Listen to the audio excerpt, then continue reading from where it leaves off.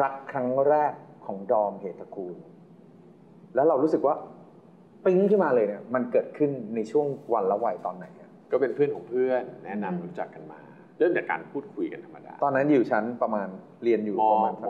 มมสี่มั้งมสี่อืมมห้ามสี่อืมส่วนใหญ่มันก็จะเป็นช่วงประมาณนั้นใช่เนาะประมาณนะทำไมถึงชอบคนนี้คะ อาจจะเป็นเพราะว่าเราคุยกันในเรื่องที่ผม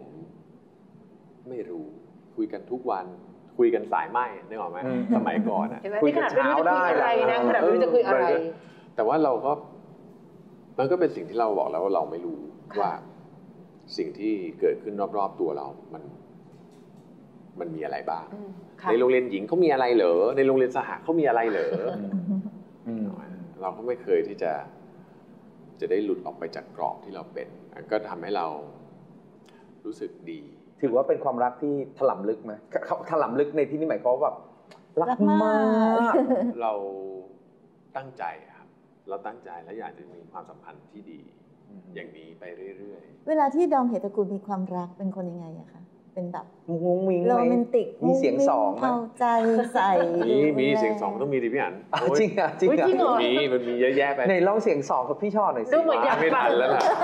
เพราะดูเป็นคนที่เสียงทุ้มนุ่มลึกและอยู่ในแบบนึกไม่ออกเลยอะนึกไม่ออกไม่ใช่เอาไม่มาใช่เห็นหน้าเลยนึกไม่ออกเลยเออก็เป็นความรู้สึกที่ดีครับ แต่ก็จะมีเกรงเกรงๆด้วยความที่แบบว่าก็ การมีแฟนครั้งแรกมันก็แล้วเป็นแนวหวานไหมดอกไม้มาแหวนมาต้มหูมา โรแมนติกขนาดนั้นการ์ดเขียนยาวเหยียดเลยเซอร์ไพรส์ดินเนอร์จุดเทียน โอ้ยขนาดจะเรียนเทควันโดยังติดก็ต้องเก็บตังค์เลยจะเอาแหวนเหมือนจากไหนวะพี่อันโอ้โห ตายแล้ว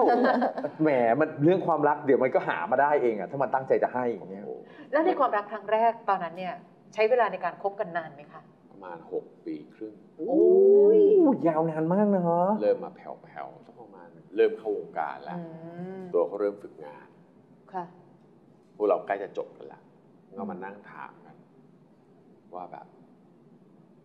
เราจะทำยังไงกันต่อ กับความสัมพันธ์อย่างเงี้ยเหรอ เออมันเป็นการวางแผนอืม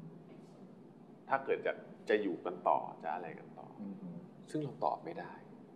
ทำไมอะคะ มันก็คบกันไปเรื่อยๆดูแลกันไปเรื่อยๆเรื่อยๆไม่ไม่ได้ได้เหรอคะถูกเราดูแลกันไปเรื่อย ๆ ได้ไหมคือแบบมันเหมือน เราเริ่มไม่แน่ใจ ในวันหนึ่งที่แบบต่างคนต่างทำงาน ในตอนที่มันเรียนจบแล้วจริง ๆ ครับอืมเราก็เลยพบว่าแบบความสัมพันธ์มันไปต่อไม่ได้อืมค่ะแต่จริงๆในช่วงวัยตรงนั้นบางทีมันไม่ต้องอธิบายหรอกอืมว่าว่ามันเลิกเพราะอะไรแล้วอยู่ดีๆ มันก็จะหา ใช่ค่ะบางทีที่มันทิ้งช่วงกันไปเองอืมมันเหมือนมันไม่มีการบอกลา มันค่อยๆห่างไปค่อยๆหาไม่ได้มีการบอกเลิกกันอย่างชัดเจนด้วย ไม่ใช่ค่ะไม่มีอะไรชัดเจนเลย แต่มันรู้ว่าแบบต่างคนต่างก็มีแบบไม่ใช่